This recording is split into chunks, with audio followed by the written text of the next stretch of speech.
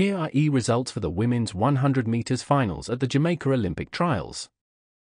1. Shericka Jackson 10.84. 2. Tia Clayton 10.90. 3. Shelly-Ann Fraser-Pryce 10.94. 4. Forbes 11.04.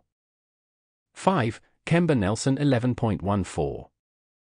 6. Alana Reid 11.14.